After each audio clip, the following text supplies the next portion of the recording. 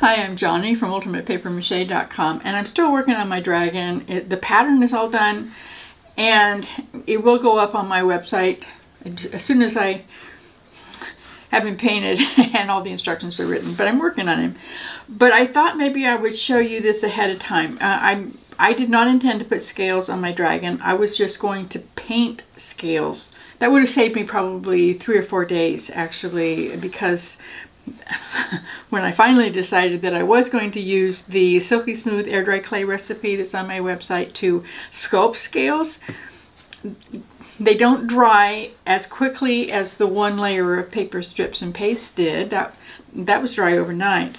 But the scales themselves, um, they, they were in front of a fan all night last night and they're still not well, they're, they're dry on the outside and they feel hard, but they're not dry all the way inside. And so it's going to take a couple more days. I also haven't finished all of them. I'm still working on it. so this, this takes a while. But I thought I'd let you see how I did it just in case you're making a, a dragon or a, um, a lizard, snake, fish. The, the scales went on faster than they would if you hand sculpted every single one but I'm not telling you that it's fast. It took maybe four hours to do this side yesterday. I tried for kind of a general feel of snake scales on his neck and then I sort of borrowed the scales from an iguana for uh, the rest of his face just because I, I really like those uh, circles. I didn't put them as close together. Obviously, on a real iguana, they go right up next to each other. But this was kind of a design idea. I wanted, I'm going to be using um, a, a, darker glaze, and I wanted those circles to show up really nicely, so it was just something I wanted to do. I did uh, make ram's horns for my dragon, but you'll probably want to uh, make skinnier ones. I'll show you how to do that when I get all the instructions done. I used the Silky Smooth air dry clay recipe and I am kneading in the very last bit of flour. It's still slightly sticky and you can see it's it's taking some real nice curves and, and wrinkles. This is just about right. I think I'm going to be able to make some really nice scales with this. Now you want to practice on a piece of cardboard rather than your actual sculpture. That would look really cool on a smaller sculpture but I'm I've got kind of a big one so I'm going to try this one instead just the corner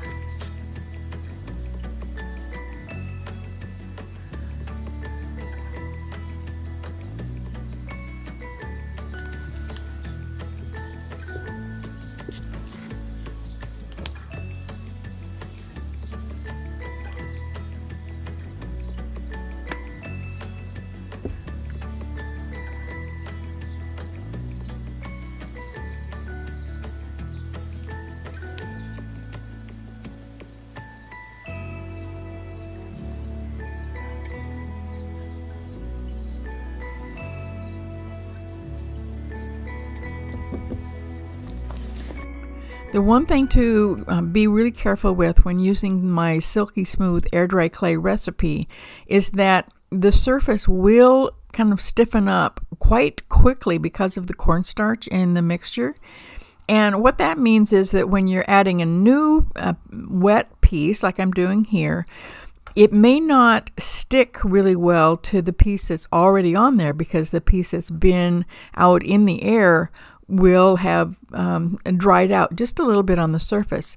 So, what you may need to do is either work it really well, like I am, just kind of uh, work those two pieces together so they meld really well.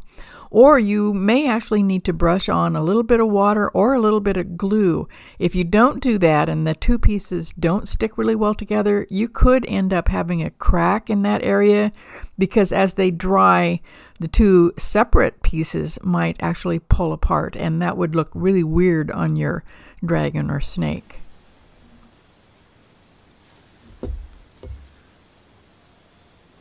I decided that this was too much. Uh, the the texture is really nice, but it just with with the with having it on the entire neck, it just it felt like it was getting to be too much. So what I'm doing is I'm actually going back over it. Fortunately, it's still damp enough. And I'm giving him some of those really wide scales, I don't know what they're actually called, that snakes have on their on their um, tummy. And I'm just going back over it with the damp spatula here. Now obviously this means that if, if you think this might be an issue with whatever sculpture you're working on, you want to keep checking it from, you know, from a distance fairly often because if you leave it too long, um, you, you won't be able to flatten them out. They, they won't be soft enough anymore. And you'll have to go back over it uh, with, a, with another layer. Now I'm noticing that because I'm uh, changing these scales into long flat pieces, there's quite a bit of um, texturing going on and I have to decide if I'm going to leave that or smooth it off. And I've decided to leave it only because I deliberately left the spikes really rough. When I added uh, the layer of brown paper over these spikes, I don't know if you can see that or not, but um, they're not very professionally done, as you say. I didn't make them really smooth, and I decided to leave that because it just gave them kind of a wild look. Because of that, I'm going to leave the texture on the bottom of these big flat scales just because I think it kind of matches. But you will have a different design choice to make with your dragon or snake or whatever, um, whatever it is you're working on. Now I'm not done with this side yet, but I know that this side, it can't get done. well, this part is still wet because I wouldn't have anything to hold on to. So I'm going to, um, now when it's, when it's still damp enough, and it's almost getting a little bit too hard right now, but I'm smoothing it out so that it'll kind of um, gradually move towards the same level as the cardboard. When I come back over tomorrow, I'll be able to put the new uh, air dry clay over this part just a little bit and it won't create that weird jagged line. So right now I'm just trying to um, create some scales on his face that look a little bit more iguana-like. If you don't think it'll stick well enough even um, with putting the water on the surface, go ahead and get out some glue and just brush it over the sculpture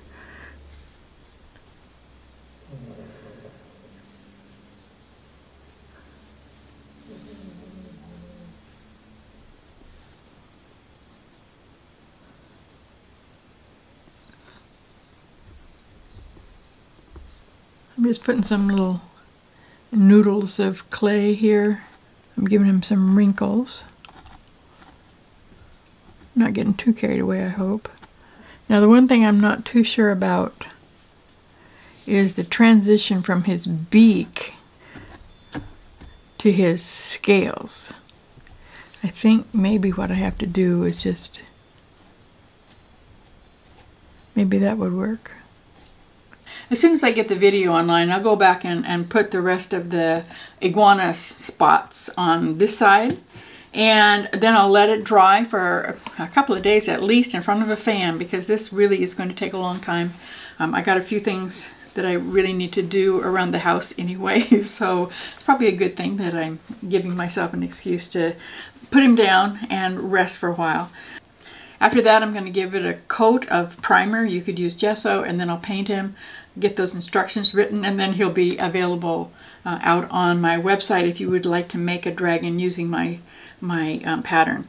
You don't have to put scales on yours either. Uh, I'm just I'm just getting really carried away with this guy. I, I seem to keep thinking up things to do to him or things to add to him. He's getting kind of busy right now, but um, just having so much fun with it. now, if you have any ideas for making scales that might be easier, or that would be possible if you don't happen to have all the ingredients that you would need to make the uh, do-it-yourself um, air dry clay. Please do let us know your ideas too.